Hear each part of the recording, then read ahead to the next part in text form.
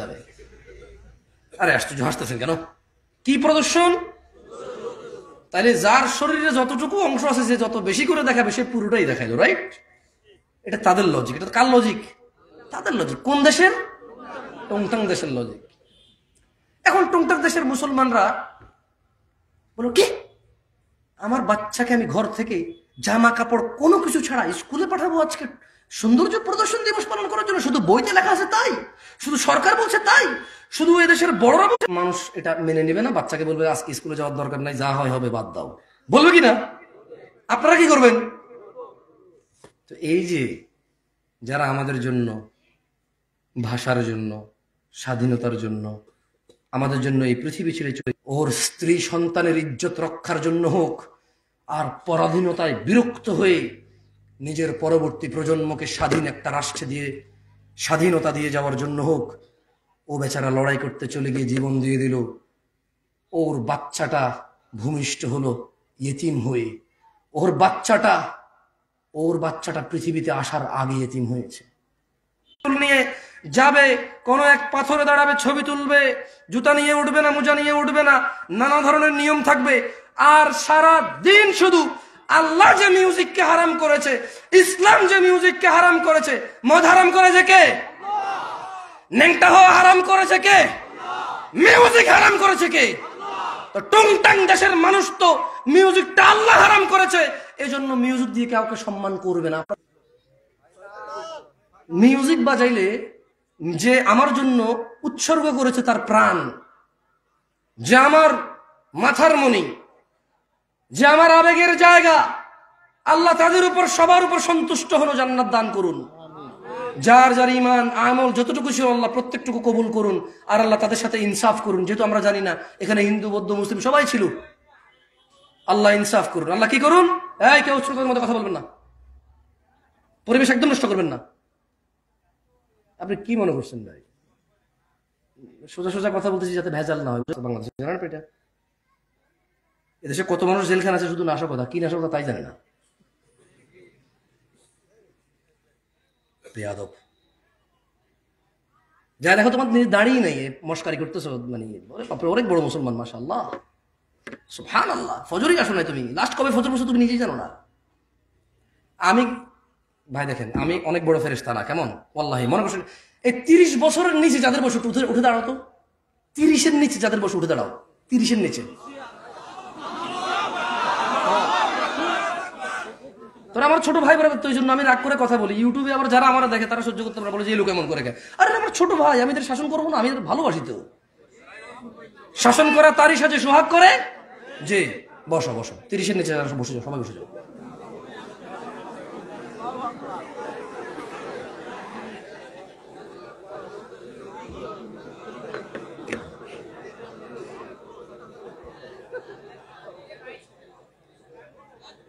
জেনে নাও ছোট ভাই আমি তোমাকে ভালোবাসি। এখানে আমি অনেক বিষয় নিয়ে আলোচনা করতে পারি। না আমি অনেক জ্ঞানী বলছি না তবে দু চারটা বিষয় আছে যেটা নিয়ে করতে পারি। কিন্তু আমি আজকে এই কি বললেন গ্রামের নাম? রাজার হাটে আজকে আমি আলোচনার বিষয়ে চয়েস করেছি এমন একটা বিষয় যে বিষয় তোমাকে জান্নাত দিবেই দিবে তুমি পরোয়া করলে। কথা বলছিলাম লুকমান তার ছেলেকে ওয়াজ করছিল। বিল্লাহ। আল্লাহর সাথে শরিক করিও না। ইন্না শিরক লাযুলমুন আযীম। শিরিক সবচাইতে বড় পাপ। কত বড় পাপ! এই পৃথিবীর সমস্ত জিন আর মানুষ একত্রিত হয়ে যদি কোনো পাপ রটনা করে, এর চাইতে বড় পাপ। শিরিক কত বড় পাপ! ছোট্ট একটা উদাহরণ দিয়ে যদিও এই উদাহরণ কিচ্ছু না। ওয়াল্লাহি এই উদাহরণ একেবারে মিলবে না। তবুও দিচ্ছি একটা লোক পুরুষ একটা লোক মহিলা এই পুরুষ এই মহিলাকে বিয়ে করেছে বুঝে আসছে?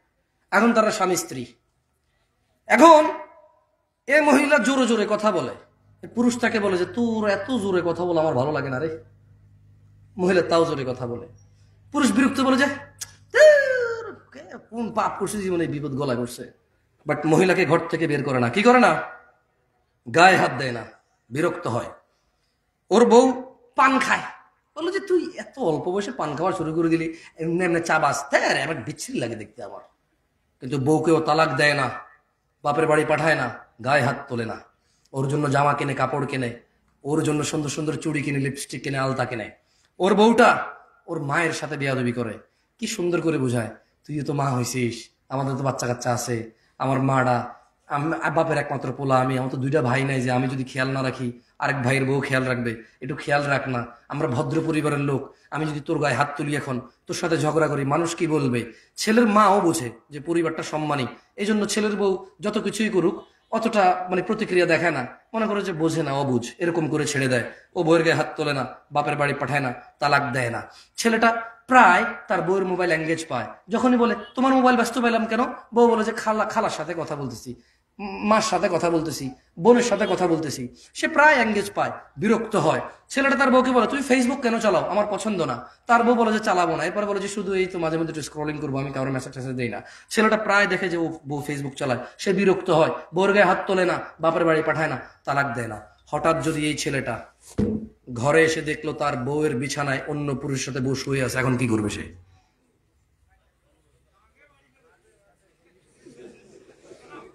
কেন? রাগে মেরে ফেলবে কেন? কি ইসলাম বোঝে না? ও তো মুসলমান ছেলের কথা বলতেছি আমি। তুমি কোন ছেলে? তুমি কোন ধর্মের ছেলে? ইসলামে কোন মহিলা পুরুষ ধরা পড়ে গেলে মেরে ফেলার তোমার বিধান আছে? সরকার মারবে। কে মারবে? কে মারবে? বিবাহিত মহিলাকে পাথর মেরে মেরে রজম করবে কে? জেনাকারী। কে রজম করবে? কে রজম করবে? তুমি তো গায়ে হাত দিতে পারব না। তুমি ধর্ম বুঝো না তো। জট্টুক আছে ওটুক নিয়ে মস্করা করো, গজল গায়া গায়া। জট্টুক টুকটাক দেখা যায় ওটুক নিয়ে মস্করা করো, গজল গায়া, গান গায়া, সিনেমা নাটক কইরা। কৌতুক করে ধর্ম শিখাও এখন, সিনেমা করে দেখি তো টেলিভিশনে আসে। একটা ইসলামের শিক্ষা, কোরআন হাদিস দিয়ে আর হচ্ছে না, এবার নাটক করে শিখাইতে হবে। এই পর্যায়ে চলে গেছো তুমি। কেন মারবা? মেরে ফেলবা কেন? ওর বউ আরেকজনের সাথে শুয়ে আছে, তুমি মেরে ফেলবে কেন তোমার বউরে? তোমার মেরে তোমার মেরে ফেলা বৈধতা আছে ওই মহিলাকে? বলে যে মেরে ফেলবার আগে। ওকে তালাক দেওয়া বৈধতা আছে। ওকে বাপের বাড়ি পাঠিয়ে দেওয়ার বৈধতা আছে। মুসলমান শাসকের হাতে তুলে দেওয়ার বৈধতা আছে। যে বিচার হোকের। আর বিচার হবে কেন বিবাহিত মহিলা জানা করল কেন? বিবাহিত পুরুষ জানা করল কেন? ওর বিচার হবে। ওকে পাথর মেরে মেরে ফেলতে হবে। কে মারবে? শাসক মারবে। পুলিশ। এদেশের যে পুলিশ আছে না, অথবা কোনো বাহিনী তৈরি হবে, সরকার তৈরি করবে। কে তৈরি করবে? হুজুর, আমাদের দেশের সরকার। তো আমি তোমার দেশ নিয়ে কথাই বলতেছি আমি কথা বলতেছি ইসলাম নিয়ে। আমি কি এখন বাংলাদেশকে হিসাব করে করে কথা বললে হবে? ইন্ডিয়া, পাকিস্তান, সৌদি আরব, ইরান, নেপাল, ভুটান নিয়ে কথা বললে হবে? আমি কথা বলতে হবে ইসলামের বিধান নিয়ে। এবার কি তোমার আছে আর কি তোমার নাই? যা তোমার আছে তা তুমি পাবা, আর যা তোমার নাই জব তুমি আল্লাহকে দিবা। আমি এখানে কি করব? কি করার আছে? কি ক্ষমতা আছে আমার করার? এই, তোমরা কি কথা বুঝব আমার? এখন এই ছেলেটা দেখল তার স্ত্রী অন্য কারও বিছানায় শুয়ে আছে। আচ্ছা এই যে তার মাকে কষ্ট দিল, এই যে মহিলা জোরে জোরে তার সাথে কথা বলে, এই যে মহিলা পান খায়, এই যে মহিলা সারা দিন ব্যস্ততা, মোবাইলে ব্যস্ত পায়, এই যে মহিলা ফেসবুক চালায়, ও কিন্তু তালাক দেয় নাই দিছে। বলেন তো এবার ও রাখবে আপনি বললে? আপনি বললে? একটা পুরুষ, অথচ ওর বউকে যদি ওই পুরুষের সাথে না দেখতো ও জানতেই পারতো না এই কথা। জানতে পারতো? ক্ষমতা আছে? ধরেন ওর বউ একটা পুরুষের সাথে শুইল। ও তিন দিন পরে বাড়ি আসলো। ও ওর বউর সাথে শুইল। ওর কি বুঝার ক্ষমতা আছে? ওর বউ আরেকজনের সাথে ছিল? আরে জোরে জবাব দেন ভাই। যেই পুরুষ তার বউ যদি আরেকজনের সাথে শোয়, এরপরে সে যদি ওই স্ত্রীর কাছে যায়, যেই পুরুষের এতটুকু ক্ষমতা নাই বুঝার যে অন্য কারোর সাথে ছিল, ওই পুরুষ যদি দেখে আরেকজনের সাথে শুইছে। ও ঘৃণায় ও ঘৃণায়, লজ্জায়, রাগে, ক্ষোভে, দুঃখে। ওকে পুরো পৃথিবীর বিনিময় দিলেও বলব যে বউ, আমি রাখব না ভাই। যার ভিতরে ন্যূনতম লজ্জাবোধ আছে গেরাত আছে। গেরাত মানে বোঝেন আত্মমর্যাদা। কি মর্যাদা? সে রাখবে না তো। বলব যে, ভাই, এত কিছু জানি না। আমি জুলুমের শিকার হয়ে গেছি। ওর মোহর কত? বিশ লাখ। এ ভাই, একটা কিডনি খুল লইয়া যায়, এরা সরা। দেখলে আমার মেজাজ গরম হয়।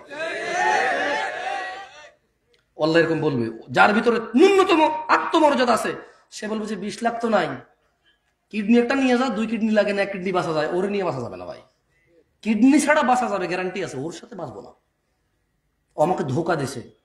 ও আমার বংশ মর্যাদা নষ্ট করছে। ও আমার ও আমার বংশ নষ্ট করে দিছে। এখন যে বাচ্চাটা আছে, এটা কি আমার না? আমার না, আমি সেই সন্দেহে আছি। ও আমার আগামী প্রজন্ম ধ্বংস করে দিছে। আমার আগামী প্রজন্মের যে বাতি আমার সেই বাতি আমার কিনা আমি জানি না, আমি এতটা দুঃখে আছি। এবং যে নিষ্পাপ সন্তানটা আছে, ওর ঘর থেকে হয়েছে ওকে বিদায় করে দেওয়ার পর ওই বাচ্চাটাকে দেখলে আমার ওর কথা মনে পড়ব আর আমি সন্দেহে থাকব, এটা কি আমার বাচ্চা না অন্য কারও? ওকে সরাও কিডনি নিয়ে যাও, ওকে সরাও, এক কিডনি দিয়ে বাঁচা যায়। ও আমার আগামী প্রজন্ম ধ্বংস করে দিছে। ও আমার বংশের বাতি শেষ করে দিছে। ওকে সরাও। সেই জায়গায় শিরিক, আল্লাহ কীভাবে মাফ করবে? অথচ তিনি জানে তিনি তোমাকে সৃষ্টি করেছে। কোথায় থেকে? এক বিন্দু তুচ্ছ পানি থেকে যেটা তোমার বাপের পাজরের হাড়ে ছিল। এই পিছনের হাড়ে ছিল যে পানিটা, ধাক্কা দিয়ে যে পানিটা বের হয়। যে পানিটা যে কারও হাতে লাগলে গোসল করতে হয় এইভাবে ঘিন ঘিন করে টিস্যু দিয়ে মুছে ফেলবে। এমন তুচ্ছ পানি হতে তোমাকে সৃষ্টি করছে। তুমি তো মনে করো তুমি জোয়ান। তোমার বাপ জোয়ান ছিল না। তুমি মনে করো তুমি জোয়ান থেকেই যাবা ছোট ভাই আমার তুমি আর বৃদ্ধ হবা না খবরদার عن ابي بكر رضي الله عنه قال ابي بكر رضي الله عنه থেকে বরঞ্চ তিনি বলেন قال النبي صلى الله عليه وسلم আল্লাহর রাসূল সাল্লাল্লাহু আলাইহি সাল্লাম বলেছেন আলা উনাব্বিউকুম বিআকবারিল কাবাইর ও আমার উম্মতরা তোমাদেরকে কি আমি বলে দেব পৃথিবীর সবচেয়ে বড় অপরাধ কি قالوا بلى يا رسول الله সাহাবারা সবাই বললেন হ্যাঁ আল্লাহর রাসূল আপনি বলে দেন না এই পৃথিবীতে যত অপরাধ আছে সবচেয়ে বড় কোনগুলা উনি বললেন সালাসান তিনবার আল্লাহ নবী বলল আমি কি তোমাদের বলে দেব পৃথিবীর বড় অপরাধ কোনটা আবার বলল আমি কি তোমাদের বলে দেব না পৃথিবীর বড় অপরাধ কোনটা আবার বলল আমি কি তোমাদের বলে দিব না এই পৃথিবীর সবচেয়ে বড় অপরাধ কোনটা তিনবার বললেন সাহাবারা বলল হ্যাঁ আল্লাহ নবী সাল্লাম বলে দেন। বলেন পৃথিবীর সবচাইতে বড় অপরাধ আল্লাহর সাথে শিরিক করা।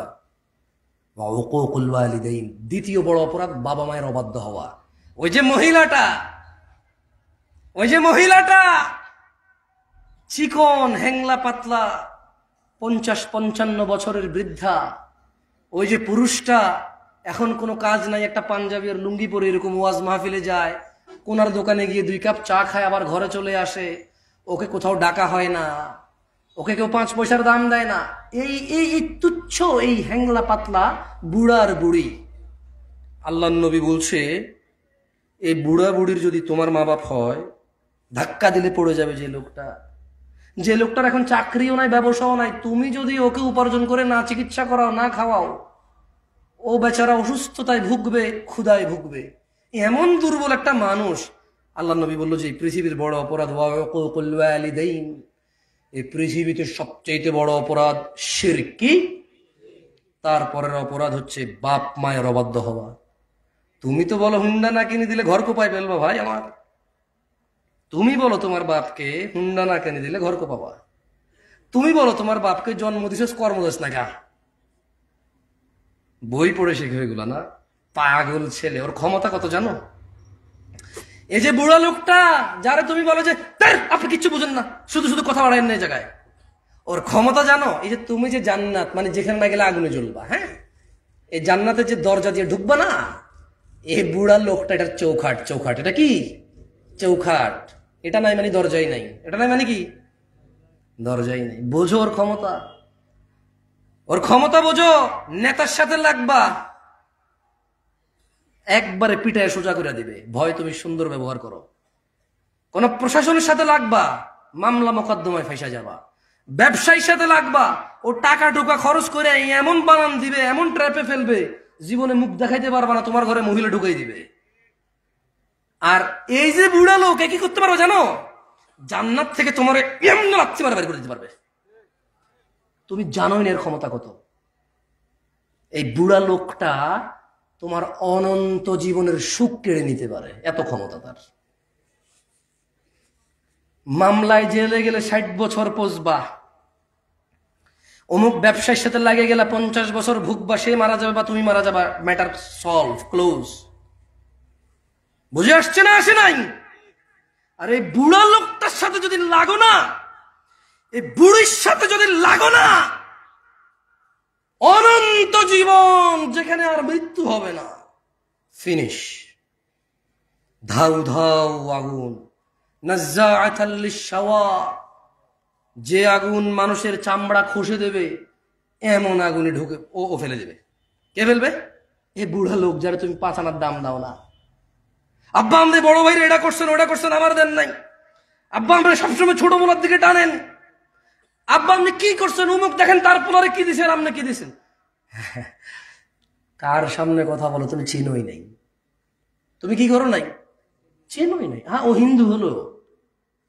তুমি বিশ্বাস করো তোমার বাপ যদি হিন্দু হয় তোমার বাপ যদি বৌদ্ধ খ্রিস্টান ইহুদি নাসারাও হয় তুমি না তোমার আব্বা যদি বলে যে আল্লাহর সাথে শিরিক করে বলতে হবে যে আব্বা আমি এক আল্লাহ ছাড়া কারও আব্বা আমার জোর করেন না ভাব নাম যাও না যাও না। ইব্রাহিম আলাইসালাম একজন নবী। খালিলুল্লাহ রাসূল, সুবহানাল্লাহ। উনি মিথ্যা কথা বলছে, চিন্তা করেন তারপর বাপের সাথে বিয়ে করতে পারে নাই। বাপে বলছে যে, ইব্রাহিম, আসো, আমরা পূজা করি। ইব্রাহিম আলাইসালাম হঠাৎ করে বলেছে আব্বা, আমার খুব খারাপ লাগতেছে। কি লাগতেছে? আব্বা, আমি অসুস্থ ফিল করতেছি, আমার যাইতে ভালো লাগতেছে না। বাপ বলল যে, ঠিক আছে, যেহেতু অসুস্থতা ফিল করতেছে, সে বাদ দাও। ওহি পাঠায় কে? উনি খলিলুল্লাহ আল্লাহর বন্ধু। কার বন্ধু? আল্লাহর বন্ধু। ওনার ওরস মানে ওনার জন্মে একটা ছেলে আসছে, যার পানি লাগতো, কান্নাকাটি করতেছিল সুবহান আল্লাহ আল্লাহ জমজম দিয়ে দিছে ওখানে। কি দিছে? মানে ইব্রাহিম আলাইসালাম কে ভাই? ছোট ভাই আমার, তুমি ইব্রাহিম আলাইসালামের পরিচয় জানো? আরে না, তুমি জানো না তো। আরে, তুমি জানো না ইব্রাহিম আলাইসালাম কি? কে? উনি ওনার স্ত্রী আর সন্তানকে রেখে মরুভূমিতে চলে গেছে। স্ত্রী সন্তানের জন্য আল্লাহ, খলিল ইব্রাহিম আলাইসালাম আল্লাহর বন্ধু, বন্ধুর বউ বাচ্চা কষ্ট পাচ্ছে। আল্লাহ ওখানে জমজম দিল। তো জমজমের পানির গুণাগুণ কি? এতে খাদ্য আছে, পানিও আছে। মানে তুমি কলা খেলে যেরকম খাদ্য হয়, ভাত খেলে যেরকম খাদ্য হয়, পানি খেলে যেরকম তৃষ্ণা মেটে পানি হয়, জমজমের পানিতে খাদ্যের গুণাগুণও আছে, পানির গুণাগুণও আছে। তুমি বুঝছ? মানে কারণ তো মরুভূমি তো কিচ্ছু নাই, তো পানি খেয়ে বেঁচে থাকতে হবে।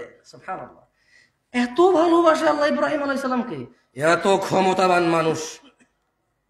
এত ক্ষমতাবান মানুষ! বাপ বলল যে, চলো, পূজা করবা। আব্বা আমার তো, আব্বা আমার খুব খারাপ লাগতেছে, আব্বা। বলল যে, আরে, আমার ছেলেটার খারাপ লাগতেছে? আচ্ছা ঠিক আছে, যাও। বুঝছ?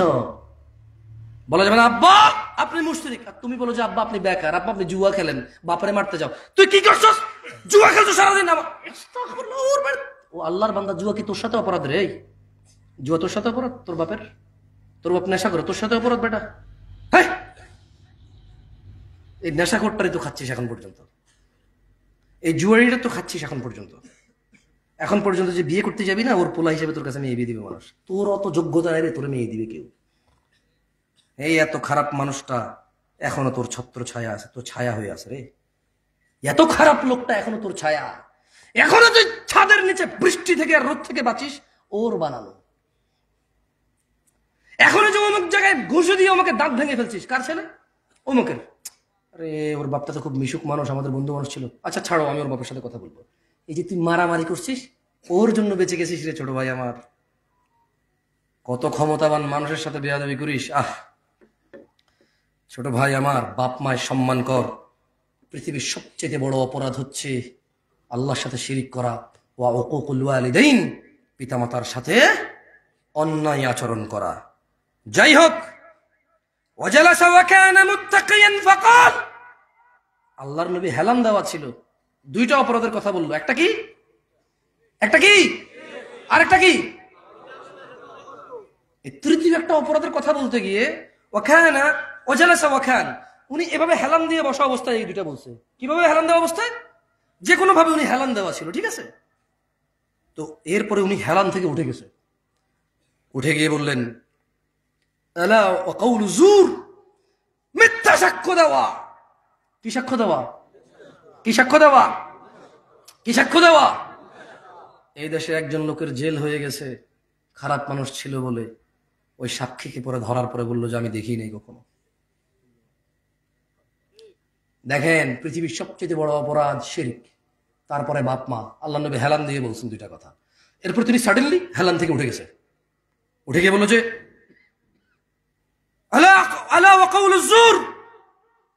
এবং মিথ্যা সাক্ষ্য দেওয়া।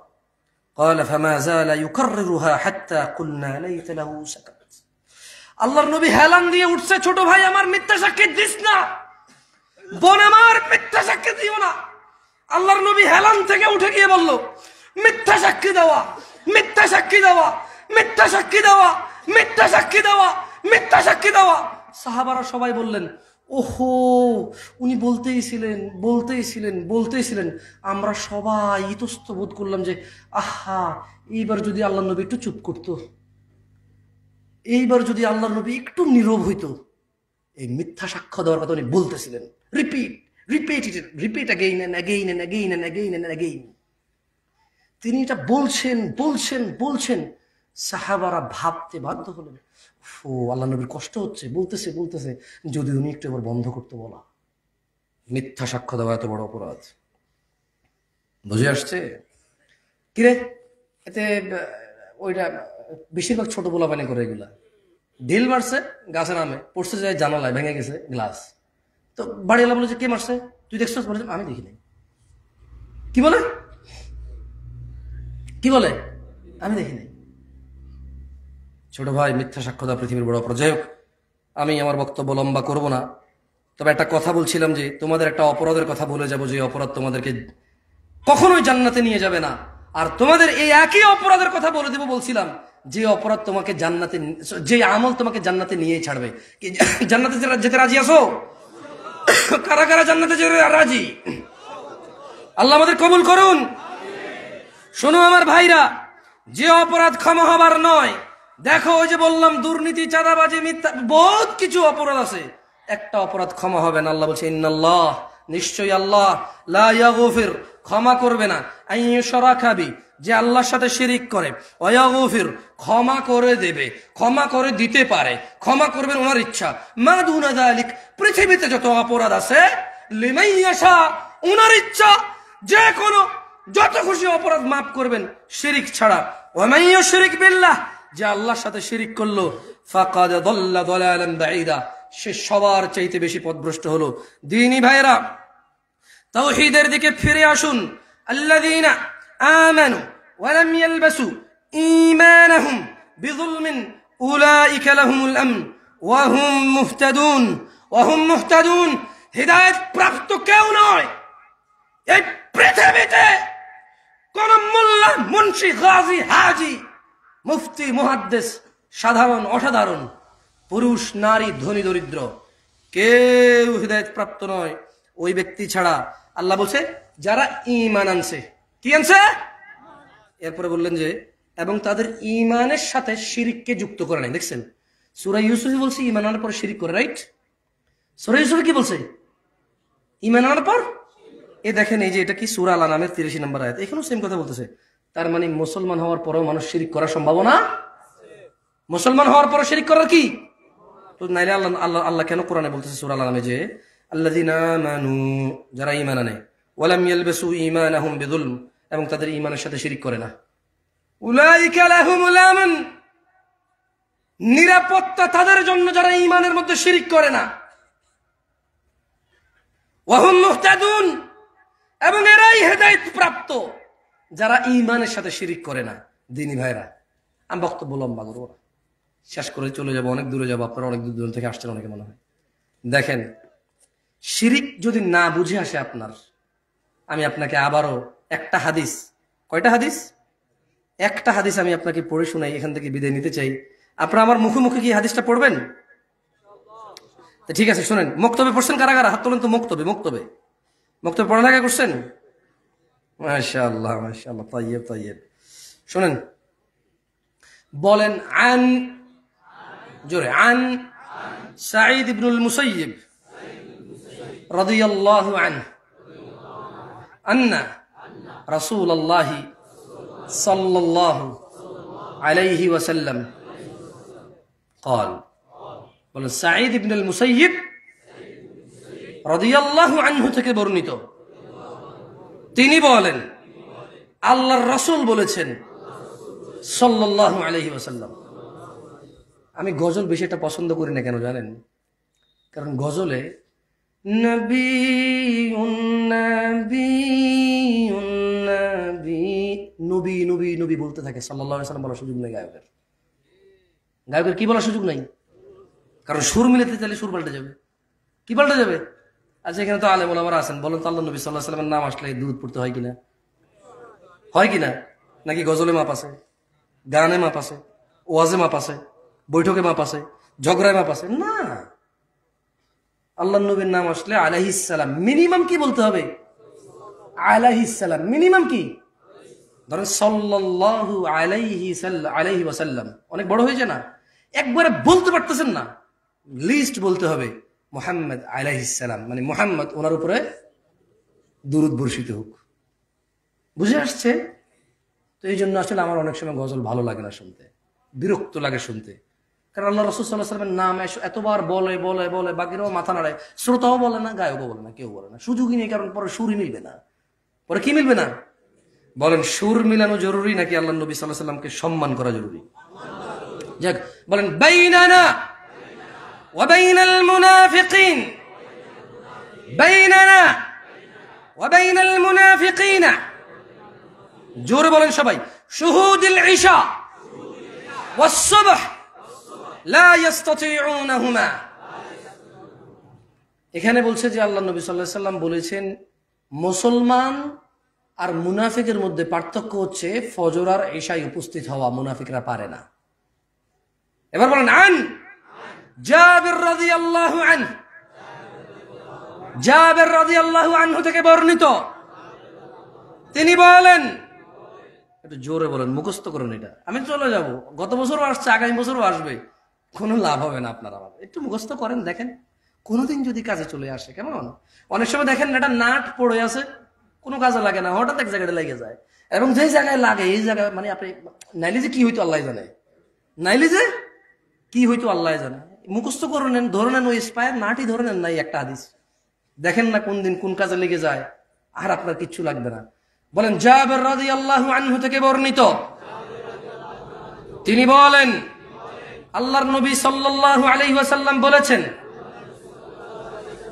বাইনার রাজুলি বাইনার রাজুলি وبين الشرك والكفر ترك الصلاه বান্দা শিরিক ও কুফুরির মধ্যে পার্থক্য হচ্ছে নামাজ ত্যাগ করা এখন আপনারা শিরিক কুফুরি মুনাফিকি এগুলোর কি পরোয়া করবেন আপনাদের ব্যাপার তবে একটা আয়াত পড়ে বিদায় নিব ভালো হয়ে যাও যুবক ছোট ভাই আমার তোমার আব্বা জোয়ান ছিল তো দেখো বুড়ো হয়ে গেছে তুমি হয়ে যাবে বেঁচে থাকলে বুড়ো হওয়া আসা তুমি মরতে পারব না। যদি বেঁচে থাকো, পঞ্চাশ, ষাট, সত্তর, আশি, তো বুড়া হয়েই যাবা। এই চামড়া ভাঁজ হয়েই যাবে। এই যৌবন থাকবে না। থাকবে না চিরকালই দাপট আর নেতৃত্ব আর ব্যবসা, বাণিজ্য, সম্পদ। গ্রহণযোগ্যতা চিরকাল থাকবে না। ভালো হয়ে যাও ভাই আমার। আচ্ছা হুজুর, আমার বয়স পঞ্চাশ, এক ওয়াক্ত নামাজও পড়ি না জুমা ছাড়া। হুজুর, আমার বয়স চল্লিশ, জুমা ছাড়া কোনো নামাজ পড়িনি ঈদ ছাড়া। আরেকজন বলো যে, ভাই, আমি কত জেনা করেছি জানেন? কত নেশা করেছি জানেন? আজকের দিনে আমার সলিউশন কি? আমার বয়স পঞ্চাশ, কোনো নাকি নাই। সুসংবাদ সুসংবাদ। কি আল্লাহ পাইছো আমি মাঝে মধ্যে চিন্তা করি, আল্লাহ এত দয়ালু না হলে, আল্লাহ এত দয়ালু না হলে আমরা পৃথিবীতেই শেষ হয়ে যেতাম। আল্লাহ তালা কোরআনে বলছেন, মনোযোগ দিয়ে শোনেন, ইল্লা ও চোরের দলেরা ও জানাখোররা, ও নেশাগ্রস্তরা, ও অত্যাচারীরা, ও জালেমরা, ও ইসলাম বিদ্বেষীরা, ও আল্লাহ দ্রোহিতারা, ও আল্লাহ দ্রোহীরা, ইল্লা সুযোগ সুযোগ, মহা সুযোগ। অফার অফার, বিশাল অফার। ও কি ঘোষণা আল্লাহর। অতপর যেই ব্যক্তি অন্যায় চুরি হোক, যা হোক, নেশা হোক, জানা হোক, যে কোনো অন্যায় হোক ইল্লামেন তব অন্যায় যত হোক, যে ব্যক্তি অন্যায় থেকে তওবা করল, ফিরে আসলো। ও আমানা, আল্লাহর প্রতি ইমান আনলো। ও অপরাধ জমিন থেকে আসমানের মেঘমালা।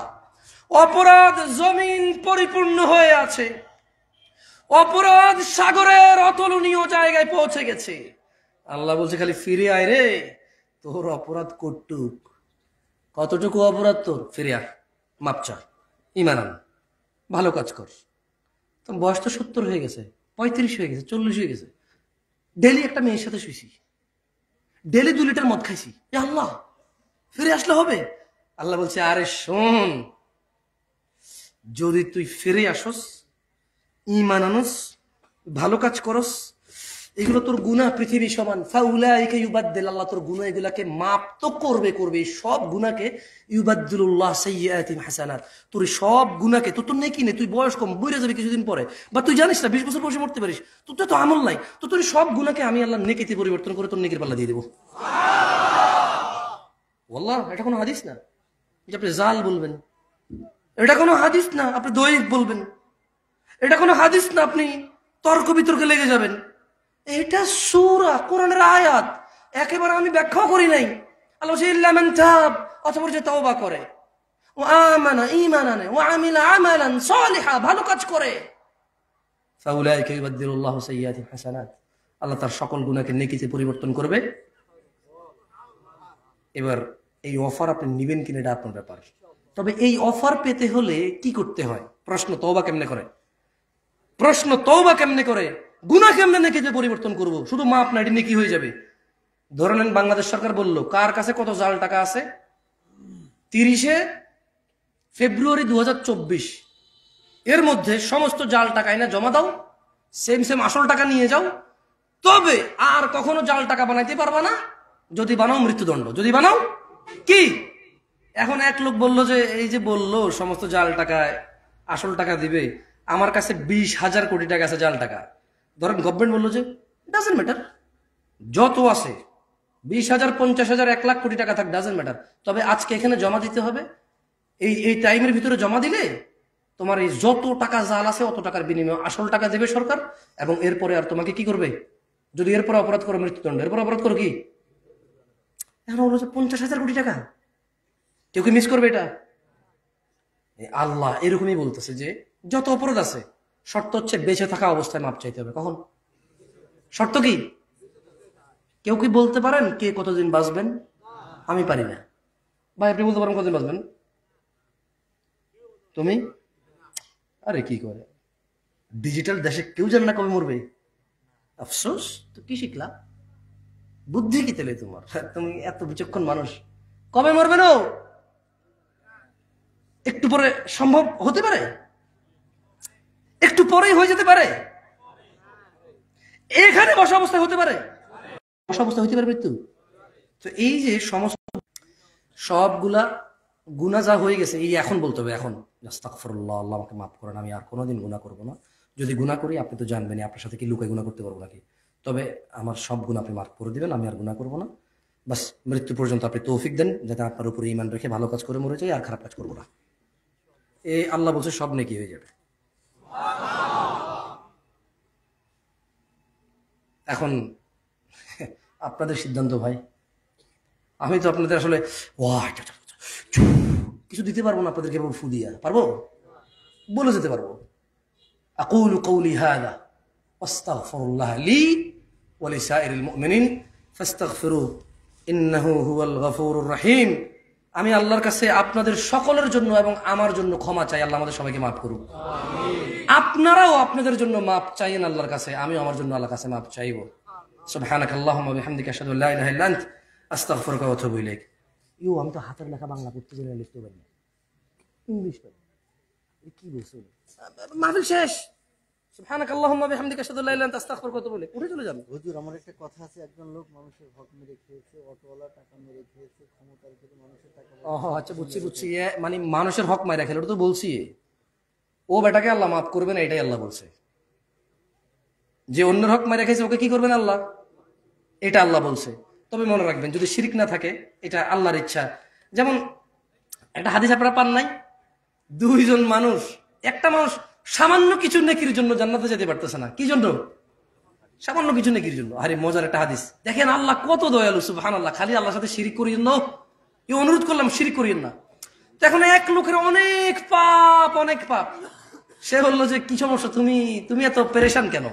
বলল যে, আমার সামান্য কড়া নেকির জন্য আমি জান্নাতে যেতে পারতেছি না। হ্যাঁ? তা ওই লোকের, ওই যে লোকের অনেক গুণা সে বলল যে, আমার তো এমনিতে অনেক গুণা আমার কাছে সামান্য কটা নেকি আছে। আচ্ছা তোমাকে দিলাম। সে জান্নাতে যাবে। আল্লাহ সুবহান তাআলা বলবে যে, তোমার এত দয়া। আল্লাহর বেশি দয়া যাও তোমাকেও দিলাম জান্নাত। মানে এমনি অন্যের হক আল্লাহ মাফ করবে না। এটাই সত্য। এটা কি? সত্য। ওই গুণা নিতে হবে বা সব দিতে হবে। Simple logic